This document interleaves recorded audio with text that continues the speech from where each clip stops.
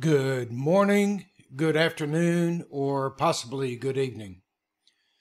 My name is Dale McKay. I'm a staff technical marketing architect at VMware Carbon Black. Now, there's been a lot of announcements uh, from Carbon Black, in particular the XDR announcement.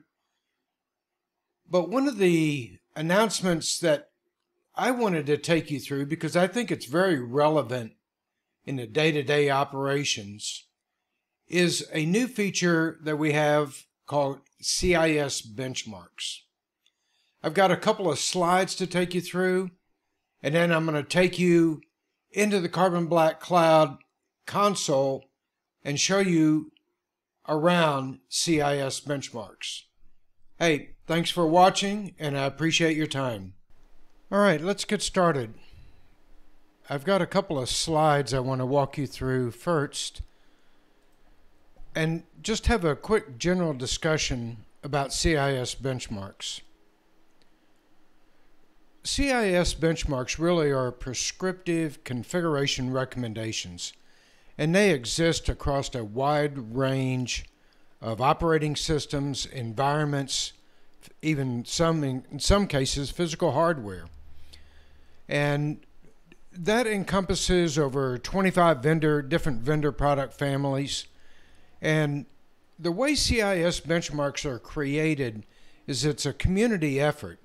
The vendor is uh, usually involved, although there's no requirement for the vendor to be involved. But I can tell you that from a personal perspective, I've been involved in helping establish benchmarks, in particular the vSphere 7 benchmark, through the collaborative effort that CIS or Center for Internet Security uses. So you get really the benefit of the community input plus the benefit of the vendor input to really arrive at what is a consensus recommendation for how things should be configured to provide the very best security that can be provided. Now, there are other VMware products that have done some CIS benchmarking, in particular uh, vRealize for operations, or I think now uh, it's Aria operations. Uh, there is some CIS benchmarking in there. But what's different about what we've done here at VMware Carbon Black is that we presented all of this information on that same common console that you use for your Carbon Black Cloud environment. And I'm going to show you this a little bit later in a demo. Now there's some prerequisites that you should be familiar with. They're on the screen right there. Number one is the sensor version. It needs to be 390 uh, 2357 or above. Right now, the CIS benchmark offering that we have is only for Windows Server and you can see the supported operating systems there, everything from 2012 to 2016, 2019, and 2022. And one more prerequisite is that all of the server OSs that you want to participate in CIS benchmarking must be part of an Active Directory domain. And we'll see this when we get into the demo.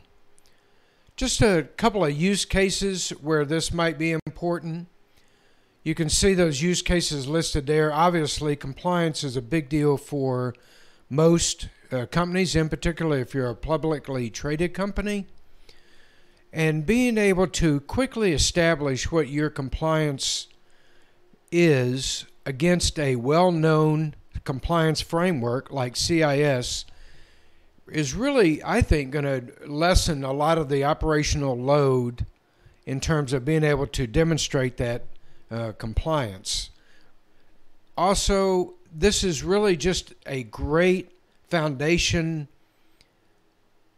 security compliance check to make sure that you have done at least a, a minimal step towards securing the environment. Now, these benchmarks, again, are community developed through the process at Center for Internet Security.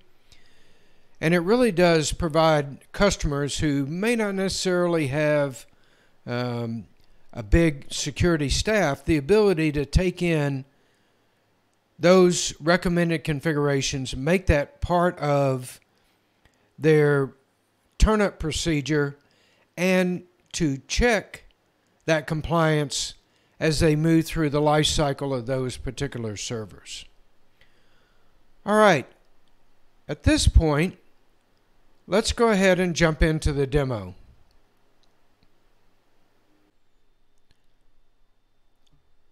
Okay, you can see I am logged into my Carbon Black Cloud console. I'm on the dashboard landing page.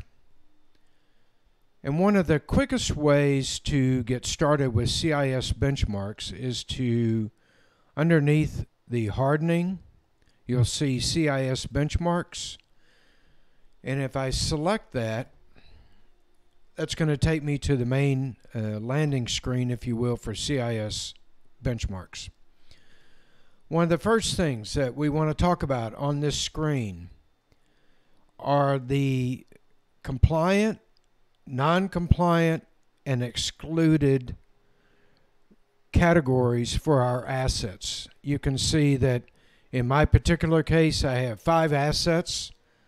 All of them are non compliant. I have zero compliant assets. Let's click on the non-compliant and let's look at these five assets. And these are five servers that exist in my environment with the fictitious company NetGurus. You can see that there's a 2012 server. There's also multiple 2016 servers. And you can see that each one of these servers has a percentage of compliance associated with it. They're all roughly around that 30% number, a few more than others and a few less than others. And you can see that they were last assessed uh, well about 24 hours ago. Now, let's take a look at this edit schedule function where I can actually schedule the frequency of the CIS benchmark assessment. You can see that we can do it daily, weekly, monthly, and I can do it basically whatever time I want it to be done. All right, so we can schedule the assessment. We can see that all five of my servers were recently assessed we can see the operating system that's associated with those particular servers. And if I wanted to, I could look at a subset of my assessments just by selecting the OS. So let's take a look at what we see when we click on a particular server. What we're going to see is the CIS benchmarks. And you can see we start right here with this enforced password history is set to 24 or more passwords. That's a CIS benchmark recommended configuration. And you can see, obviously, we're okay with that one on this particular server. Maximum password age is set to 365 or fewer days, but not zero.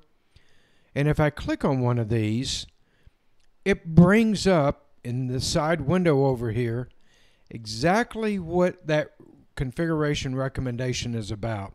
And you can see in this particular case, this is a level one domain controller, and indeed this is one of the domain controllers in my environment.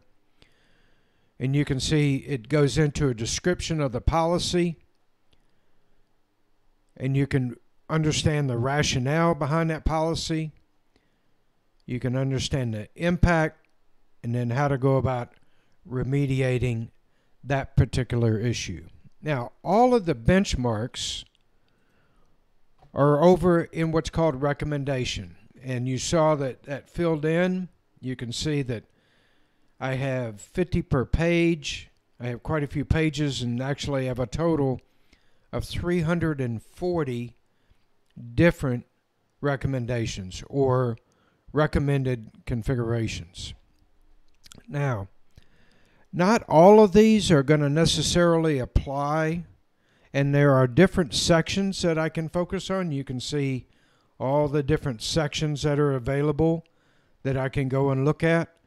You know, for example, I could, um, I don't know, let's let's take one. Let's take a look at our.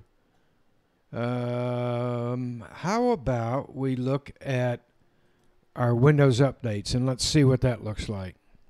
And you can see I have four non compliant servers. They're non compliant when compared to these recommendations. Those three recommendations. Let's select something else. Let's take a look at my event service log. In fact, let's look at the system event log.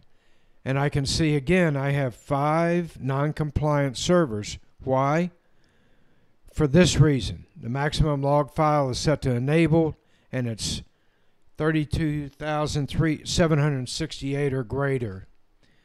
Uh, I also am not compliant with the recommendation that says the log file reaches the maximum size is set to disabled. Okay. Because I do control that log size.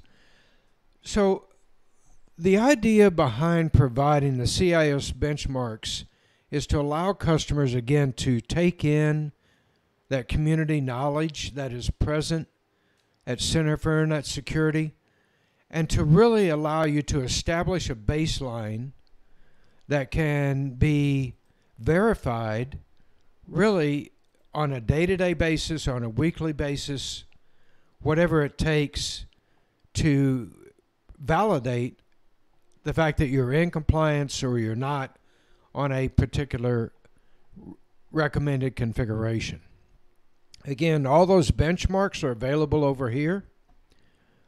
If I go over here into recommendations, this is where I can see all of those recommendations and I can disable them if I so choose.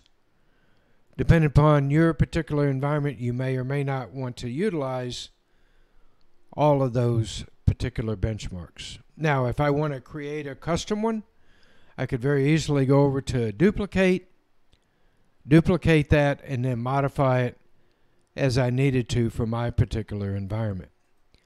If I come back over to compliance and I'm looking at my assets, I have the ability to export. If I export here, eventually when that file is ready for download, it will show up right here in my notifications and you can see it just showed up. I could go and download that file and that file would give me each of the servers its compliant percentage when it was last assessed and the OS associated with it. I can do the same thing on the recommendation side. I can do an export here and export those recommendations. Now, the reason that I wanted to just spend a few minutes going through the CIS benchmarks is again, I believe this allows organizations that may not have a huge security team or a huge security budget to begin formulating a baseline for security. And it's easily verified, it can be easily tracked through the export functions I showed you and it can serve as a working document almost that as you increase your level of compliance with the CIS benchmarks, that can be noted both online through the Carbon Black Cloud console and also offline through some archiving of those exported documents. All right, that really kind of concludes our walkthrough of the CIS benchmarks. Let's go back to our last slide. Okay, once again, I've just taken you through a new feature in the Carbon Black Cloud called CIS Benchmarks. I hope that this has been beneficial to you. Uh, my name is Dale McKay. I'm a staff technical marketing architect at VMware Carbon Black. And I want to thank you again for your time and I appreciate you watching this particular piece of enablement. Thank you.